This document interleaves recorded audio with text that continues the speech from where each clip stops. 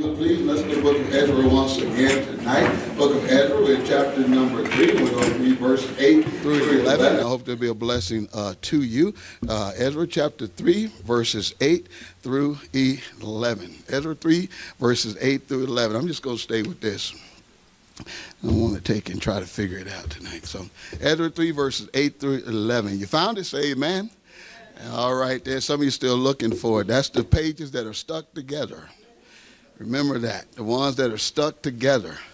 Ezra chapter 3, verse 8. Now, the second year of their coming into the house of God at Jerusalem in the second month began Zerubbabel, uh, the son of Shealtiel, and uh, uh, uh, Jeshua, the son of Jozadak, uh, and the remnant of their brethren, the priests and the Levites, and all they that were come out of the captivity unto Jerusalem.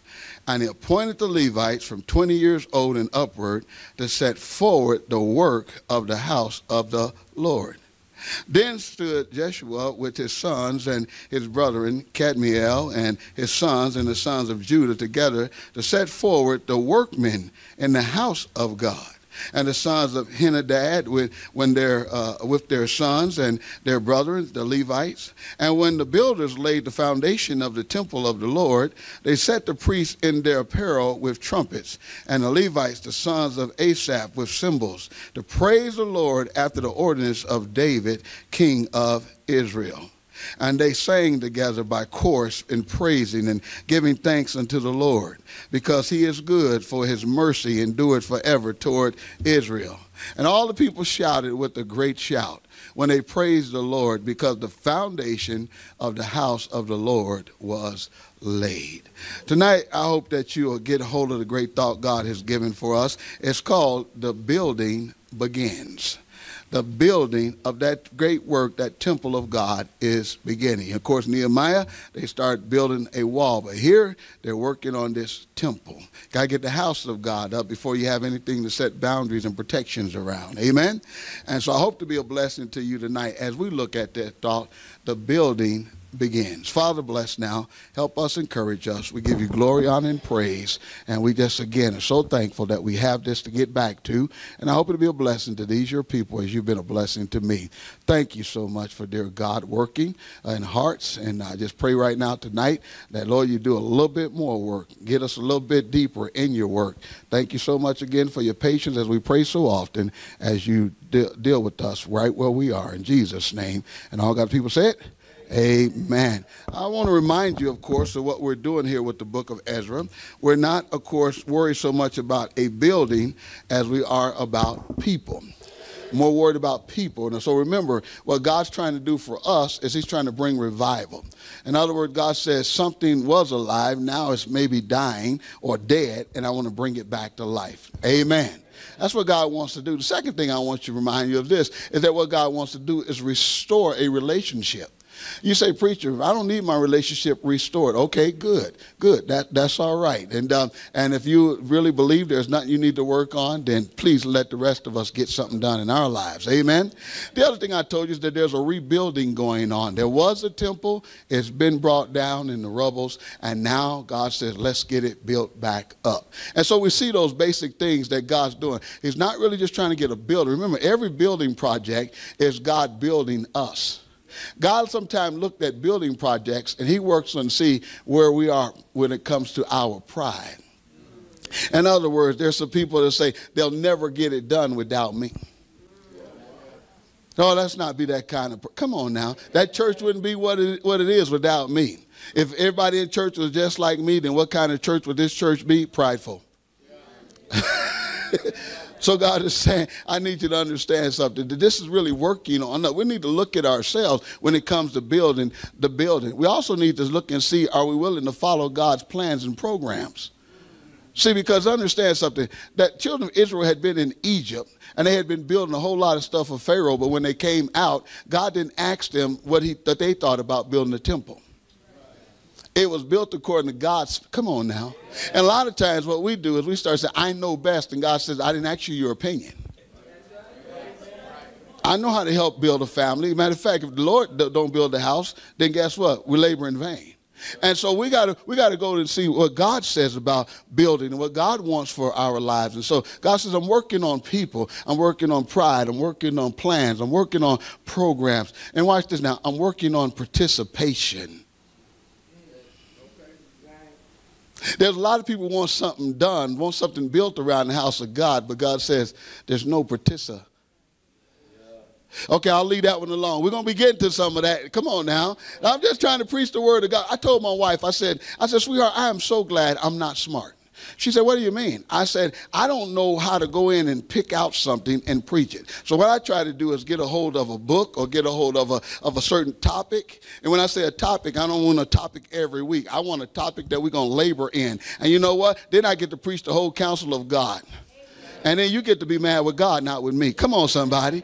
And so that's all I want to do. I'm taking just walking through this book of Ezra, and we're going to build a life. And I hope that's what we're trying to do. We're going to get back to where God wants us to be. We're going to remember what we had or, or get what God wants for our lives. Amen. And so that's where we're at tonight. And so I always want to remind you that. And I want to remind you before we get in, because we, we was out last week on this here, uh, book, and uh, I want to remind you where we were before we got here. We talked about, I want to see God move. I want to see God move. I want to see God do something in my life. And God kind of tried to help us with some stuff. And maybe you were here and maybe you weren't here, but I needed to give you some verses once again so you can see how God works. John, James chapter 4 and verse number 8. You want to see God move? God says, draw nigh to God, and then he'll draw nigh to you. So, in other words, I make a move toward God, then God makes a move toward me. I want to see God move. God said, but I don't see anything out of your life. You say, well, preacher, wait a minute now. I got saved and I couldn't do it. God says, I know, but after salvation, I'm looking for you to start doing some things. Amen. You, and by the way, when it comes to salvation, you got to take and say, God, I need to be saved before God will save you. And so we need to understand there's always a move on our part, a prerequisite, so that God can do what He promised us. Get this now. We've got the prerequisite, and God's made the promises to us. And so He says, draw nigh unto, unto God, and He'll draw nigh to you. But wait a minute, we didn't stop right there. We said, you got to finish the rest of the verse. Cleanse your hands, ye sinners. Purify your hearts, ye double minded. So God says, let's work on our hands, our hearts, and our heads if we're going to take and get oh get God to move in our lives. And so what's in your what's in your hands? What what is are we doing with our hands that need to be dealt with? What is it that's going on in our heart that needs to be purified? And what is it that we've got in our heads where nobody knows, but God says, I know everything. How about this here verse right now? Remember this one, Second Chronicles, and we'll keep on moving, 714. If, remember that word? If my people, which are called by my name, do what? Humble themselves, pray, seek my face, turn from their wicked ways. Next word is then.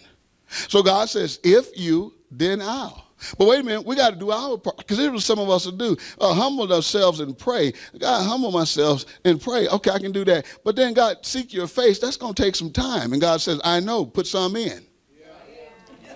and then turn from your wicked ways. See, we spend time with God, and I'm going to preach a message about that. Why you and I should spend time with God. We spend time with God so we can find out from God what is it in our lives we need to do to get right with God. We turn from then God said, Then will I hear from heaven and will forgive their sins and will heal their land. How many say I need God to do that for me? And God says, Well, then I need you to do your part for me. You do your part, I'll do my part. I want to see God move. And God says, no problem. Soon as you start moving. Hey man, I, I, want I want mom to take me to uh, uh, to to the store, and mom said, "I want you to clean your room." Okay, I better leave that one alone too. All right then. I want I want a, I want a promotion from the boss. Yeah, you. I know we don't like to be bothered. We want to get on the kid. I want a promotion, and the boss said, "I need to see some effort and some energy. I need to see some work get done." Give me a raise. no, you don't need a raise. You need to be fired. Come, no, leave that one alone. But we always want something. And God is saying, and I want something from you. So I, I, want I want to see God move, and God says, "I'm going to move as soon as you move." So now here we are tonight with the get this now with the building beginning. But wait a minute before we move on here. Remember some of the stuff I told you that we've got to do if we really want to see God do. We got to be consistent and coming to the house of God. See, a lot of times we don't we, we want God to move, and God says, you know what? The thing you need to move or the area you need to move in, the preacher preached about it last week. Well, I didn't hear it. You can't when you don't show up. Okay, I better leave that one alone too. And then not only do we need to come to the house of God, we need to learn to call on God for help. I want to see God move. God said, What a friend we have in Jesus. But guess what we don't do? We don't bring all of our burdens to Him and leave them there, like the Bible says. God is saying, Man, I can help you with that. Cast your cares upon me because I care for you. So we need to come to the house of God. We need to learn to call on God for help. And then we need to continue to give God the honor and the glory and the praise. Say, preacher, what do you mean? Stop, let's stop taking credit ourselves. I'm nobody without God. Thank God for him being in my life. Somebody say amen. So I want to I want to get some work done here. Now watch this. Now I got to make a move. God says, uh, "You want to see me move? Then you got to make a move." Let me give. I still introduction. You still with me now? Still with me now? So write these things down somewhere on your on your outline. You want you want you want to get the work started now? I want to see God move. Hear what God says. Most of us will never get anything built. Why? Because we're not willing to put in the time. Remember, this is about a life. If I want God to do something in my life, God says you got to put in some time. Why do we spend time with God? So God can show us where we need to take, how we need to, and, and when we need to do some building, some adding to and taking out. Man. And God said, that's what's missing today. Uh, again, we don't want to put in the time. The time. And then watch this now. We need to say, God, I'm going to give you my treasures. No, wait a minute. I know first thing you're talking about money. We're going to build. I thought you said it wasn't about a building project. I need you to understand something here. When it comes to our time, sometimes God says, I want some of that precious time. Hey, man, you want to give me the leftovers. God said, give me some of that precious stuff. Give me some of that stuff that you would use to do other things in your life. Okay, I better get off of that one too. God said, How about some time and how about some treasure? And then watch this now. How about some toil, some travail? Watch this, Maya. This, this will get you, Maya. Here's what God says I need you to put in the work. I need you to put it in. By the way, young people, let me help you. Are you still with me? Work, W O R K, is not an FM radio station.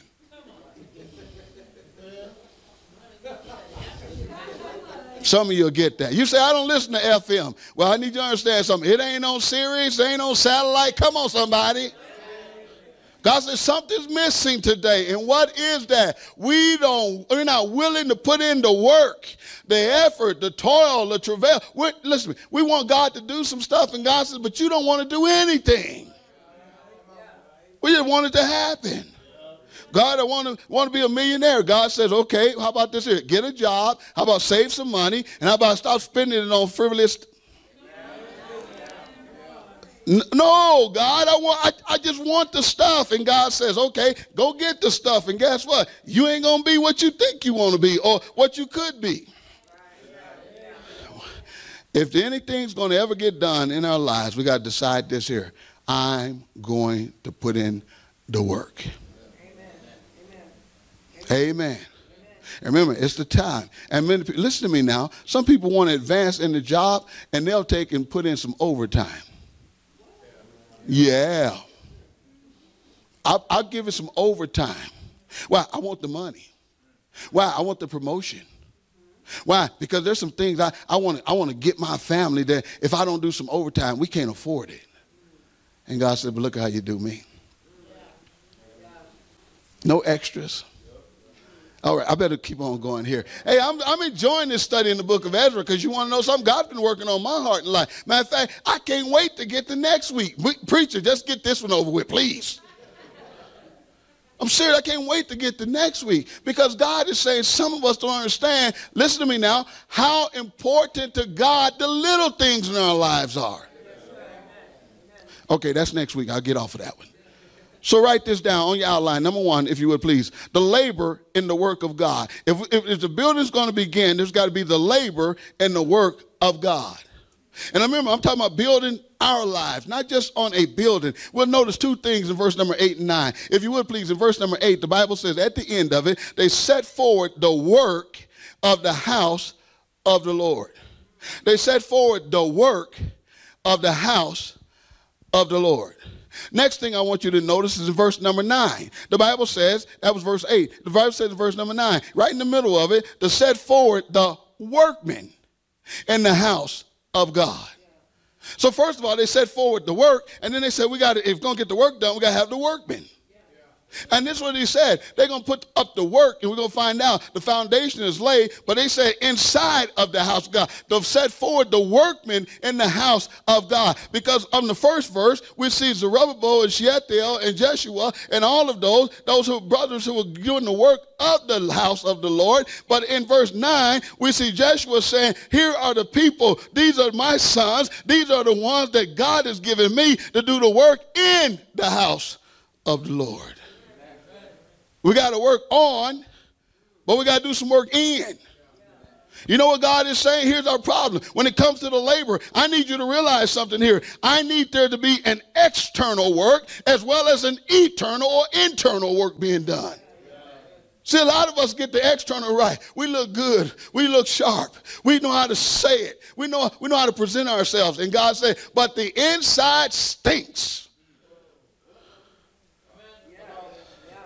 Preacher, I don't like this message. Well, that's okay. I'm, i told you that's what I like, just going verse by verse, because then, then you can't blame me.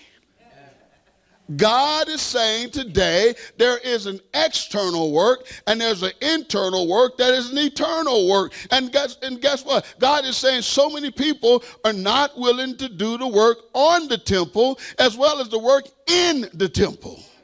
And know ye not that your body is the temple of the Holy Ghost, which is in you, and you've been bought with the price, and you're not your own. Therefore, we glorify God in our body and our spirit, which are God's. So if I'm to do a work, I'm doing the work because this is God's building. This ain't my building. The labor is for what God wants done, not for what I want. Come on, help me, somebody. Here's what God is saying. Listen, are you still with me now? We want God to do it, and God says, I need you to get involved in getting it done. I need you to invest in it, and I need you to have the right intent of getting this house built for God. Amen. What's our problem today? We forgot. This is not my life, this is His life. So let me ask you some questions. Are you still with me? Let me ask you some things about your labor. What are you focused on? About your labor, what are you really focused on? Let me just put it this away. Have you taken a good look at your heart? See what it's focused on? I, I know God has me doing, come on, somebody. What, what is our heart focused on in life? I want to do something for God. God says, but guess what? You'll never get things done for me if your heart is not focused on me. And then watch this now. Once we get focused, here's what God has said. You got to get fixed in your heart. You can't be wishy-washy. Hey man, when they said let's get some things done, we got the work going on and we got the work doing in. And here's what God has said: there's got to be focused and we've got to be fixed. And watch this now. We got to say, "Dear God, do whatever you got to do to fasten me to the work. Now, here's the problem some of us have. Do you understand? In order to get this work done, Brother Mike, they had to leave where they were at and go to. You can't be fasting on God's work when you're trying to do it in another country. Probably wish I hadn't really put this stuff together, but thank you, God, for helping us here today. Because then you can blame me, but you got to say, God, what are you trying to tell me? Here's what God is saying most of us don't like the labor. Because when you start, la- this is me, I'm not talking about just the physical, I'm talking about the spiritual labor. Because once you have to, once you start laboring, here's what starts happening. You start saying, I got to pay more attention to detail. I, I don't. I, I, I, was a building inspector, and when I say building inspector, I really didn't know what I was doing. But I knew one thing here, brother Miguel. I got the specs, I got the plans, and I would take them out there and say, "That's not according to specs or plans," yeah, yeah. or that one will pass. Can I ask you a question? Have you really taken the word of God and say, "Well, that's not according to specs and plans," or "This will pass"? No, most of us just say, but I want to build it this way. And, and guess what? There's some that build their house on a rock and it stands, and there's some that build it on the sand, and before you know it, plot, comes falling down. Most of us are like Humpty Dumpty. Once we fall off the wall, you can't put us back together again. You know what God says? Let's fix that. Well, how am I going to do it, God? God says, be willing to labor in spiritual things. The, the external, I want it worked on, but guess what? Don't just be some, a show. Let's get some stuff done inside here to where we can say, you know what, God? Search me. You see something shouldn't be? Show it to me. Wow, okay, I better move on here. So once we labor in the work, how about this here? Let's learn the living. If we're going to build the building begins, there must be the living by the word of God. Kind of hit a little bit, but let's just look at this thing. Are you still okay? Say amen. Look at verse 10. Ezra 3, verse 10. Man, I'm glad that God gave this to us. The building begins. Say, preacher, man, don't look like anything up yet. That's only because, fact, we're not putting in the labor. And then the living is right. Verse 10 And when the builders laid the foundation of the temple of the Lord, they set the priests in their apparel with trumpets, and the Levites, the sons of Asaph, with cymbals to praise the Lord. Watch it now. After the ordinance of David, king of Israel. God put that in there on purpose. Matter of fact, many of you remember when David brought the ark back and how he just praised God over it. You know what they just said here? We're doing it according to that. David made put he put he put singers in the temple. We're doing it according to that. He had Asaph leading the choir. We're doing it according to that. Amen. Now watch this here. God uses this stuff. Are you still with me? Say amen. Look what he says. Asaph with cymbals to praise the Lord. According to all of that, according the sons of him. Now remember something here. These people have been gone off the scene a little bit, but their genealogy has been important. And what happens now is we got David and we got Asaph, we got the Levi, and, and guess what they're doing? They say, we're not making this up and doing it our way.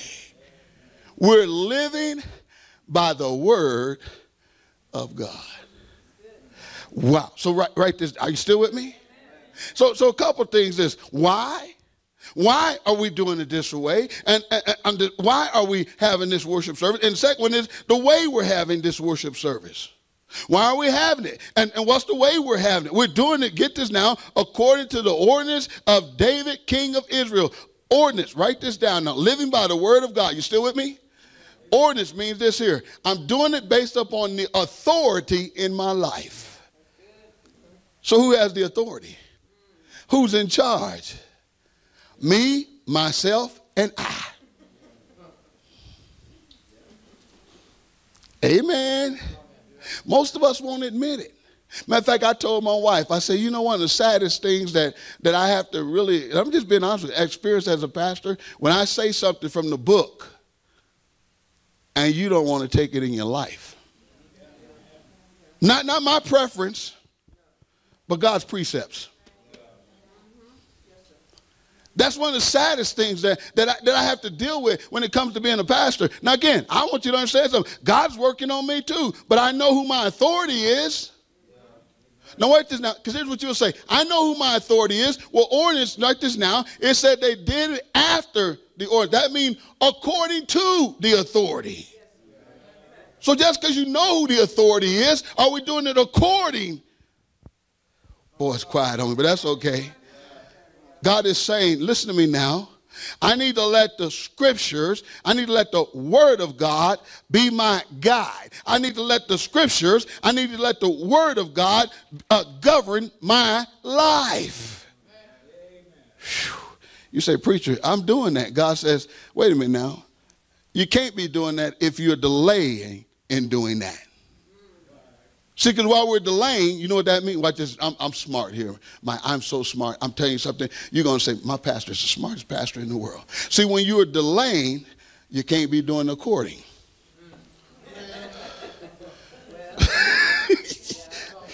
Now you got to admit, that's, that's smart right there. Truth of the matter is, all of you know that. But we don't want to admit that. God, uh, you are my authority. And God says, but you're not doing according. Why? Because we're delaying. You can't be delaying and letting God be the authority and be doing it according. Man, I wish I, I, wish, I wish I didn't know this stuff because I could, I could, I could right now be saying, "Well, God, I don't know." God says, "No, no, no, no. You know." Watch this now. He's the authority. Are you still with me, brother Mike, back there? He's the authority in my life, and I'm doing according to what he says. So here's what God says. That means, all right now, you can't be doing that if you're doing delaying or doing something different. What? Yeah, nope. If you're doing something different, there you don't. Uh, no, no. Uh, put the brakes on that. You know what God is saying? Wait a minute. You want to see me do something? And God says, I'm waiting for you to do something. What's that? Stop delaying and stop doing something different. If you diminish what God said, mean, start. Okay, we'll do this, but we won't do that. And we'll, God said, you can't, I'm not the authority. You're not doing according. Are we getting this down? I told you I was smart. Amen. Man, I'm telling you something. Here's what God, are you still with me now? Thy word is a lamp unto my feet and a light unto my, Psalm 119, verse 105. Are we still okay? Remember, God's word is going to be there to govern me. He's going to guide me. And by the way, if you'll let him, he'll guard you. I don't know how that happened. God says, because you got out from underneath the protection. Well, I know you want to do your own thing. Here's, let me tell you how God works. Are you still with me? If He's the authority and we're supposed to do according, here's what God says it's not supposed to be done according to whatever itch you get, whatever floats your boat, whatever fits your preference. You're not supposed to deliberate, debate, or discuss it. You do it according uh, to the authority. Amen. But that's all some of us do. Well, you know what? That just don't fit me right. And God says, stop scratching. Amen. Because our biggest problem today is this God is saying, we want God to do something, we're not living by His word. It's right here. Come on now, I'm not making this up. They even had worship based upon how David had told them to do it according to the word of God. There's a lot of people having worship, and God is saying, What in the world is that? And when I say worship, I mean worship services. And God is saying, What in the world is that? Matter of fact, I think God sometimes saying, That's out of this world. Are we okay? So I need to labor in the work. I need to live by the word. Again, the work, the, get, the building begin. The next thing, number three, is the lifting up of the worship of God the lifting up of the worship of God. Let me tell you one of the reasons why churches where a preacher like me will preach the word of God, or there's people that teach, and I believe around here people are teaching the word of God. The reason why that some folks don't want to accept it or want to take it because it's not a worship to God. You hear me all the time saying stuff like that. I should say all the time, but a lot of the time, you hear me saying stuff like this. Boy, I'm just like Peter. Depart from me. Man, I'm a sinner, just saved by grace. Listen, if it wasn't for God, where would I be? Let's just be honest about it. So here's what God says what's missing today is that when it comes down to real worship, most of the time it's not about God. Look at verse number 11. Are you still there? Say amen. And they said they sang together by chorus and praising and giving thanks unto the Lord. I like that. They sang together. I like that. They sang. Miss Danny go get in a minute. They sang, amen. They weren't singing, they were singing. Come on now. I know I got to mess with. I love the Bible. Come on, somebody. And how did they sing? They sang together by chorus and praising and giving thanks unto the Lord. In other words, there was full participation. Here's what God says there's a lot of people come to church and they say, I didn't get anything. God said, because you didn't participate. It's got to be that participation. If it ain't that participation, let me just kind of show you how they did. The couple, are you still with me? Say amen. So they gave gratitude to God and they began to glorify God. They gave gratitude when it came to the song, and they began to glorify him. Look at verse 11 with the shout. And all the people shouted with a great shout. What? Yes, all the folks all the folks got got to shouting with a great shout. There was there was everybody involved, and there was fervency in the shouting. Come on, somebody. And uh, here some people say they too loud. God said that's what I like. A great shout. You say, preacher, it don't have to be loud. Guess what? When everybody's doing it, it's gonna rumble up to heaven. Amen. Okay. I know some of you don't like this old preacher, but here's how it went. Are you still with me now? Notice what this. They sang together by what? Chorus in praising and giving thanks. And notice what it says here. And that's what they said. They thanks unto God because he is good, for his mercy endured forever. What they had was the ones who were calling out about the greatness of God, and the responders were talking about the goodness of God. Do it for, are you still with me? Say amen. Do it for me this way. Go to Psalm 136, if you would, please. The 136 Psalm, and you'll see how this thing worked. In other words, the preacher stood up and he said something like this Oh, give thanks unto the Lord, for he is good. And then the, the respondent said, For his mercy endure it forever. The preacher would say, Oh, give thanks unto the gods of gods. And the church would say, For his mercy endure it forever. Oh, give thanks to the Lord of hosts. Why? For his mercy endureth forever. To him who alone doeth great wonder, for his mercy endureth. You say, preacher, that's a whole lot. Well, how about this here? Oh, give thanks unto the Lord, for he is good. Amen. Oh, give thanks unto the God of God, for his, his mercy it forever. Amen. That's how it's supposed to be. I ain't making it up, it's right there. God said, How about a little shout? Wait a minute. Not a little shout, a great shout. Because His mercy. now you're getting it. If you read the 136th Psalm, they were having the one called out, and then a response came because of the creation of God, what He had done. That's verses 1 through 4. In verses 5 through 9, they talked about the great control God had over everything. In verses 10 through 20, they were talking about how God co- combated and fought for them. He look at verse number 10. To him that smote Egypt in their firstborn. Verse 11, and brought out Israel from among them. In verse 12, with a strong hand and with a stretched out arm. Verse 13, to him which divided the Red Sea and to part. You can say it right there. Amen. Whew. You know what God says? That's how you're supposed to have church. Amen. And then the last part, oh, I like it. They talked about his compassion. He gave land for inheritance. Verse 22, even in heritage unto Israel his servant. Verse 23, who remembered us in our lowest state. Verse 24, and have redeemed us from our enemies. Boy, I'm telling you what, if you can't get happy over what God did for you, how he picked you up, how he set you on a rock, how he established your going, how he put a new song in your mouth, somebody ought to say, Amen. Praise God. That's church right there. Now I know somebody's going to come here and say, What got into them? What they've been drinking? Look, look here. Let's see what's in the Kool Aid. we ain't drinking Kool Aid. No, we just getting a hold of the Word of God. And we're been thankful for what the Word of God is doing in our lives and how God is changing our lives. Can I ask you a question? Are you working on the building? The labor. Are we really working on it? Or are we just kind of showing up and going through the motions? Are we living by the book? Is he the real final authority? And we do things according to the word? Lamp to my feet, light to my yeah. Guards me, guides me, governs me.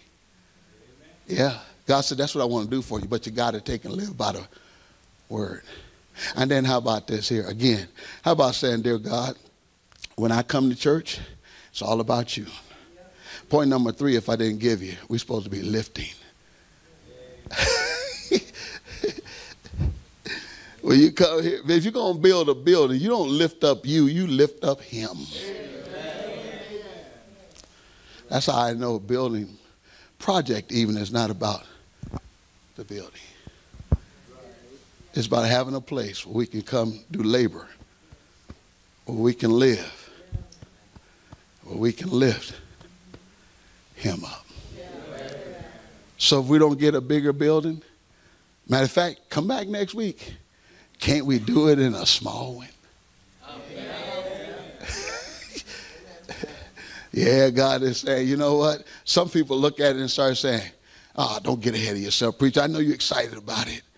Some people look at it and start saying, well, yeah, that's a pretty small congregation.